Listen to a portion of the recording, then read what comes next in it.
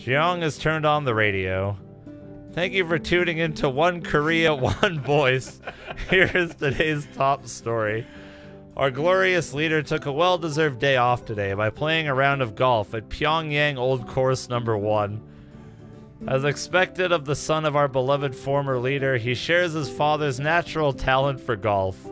I wonder if he met Trump there and played around. Our glorious leader broke his father's record with a 40 under par, 32 for the round. Included in his round was a streak of nine holes in one, a feat only he has ever done in the world. Guess the glorious leader missed his true calling of dominating the world tour of professional golfers. Dinner is ready.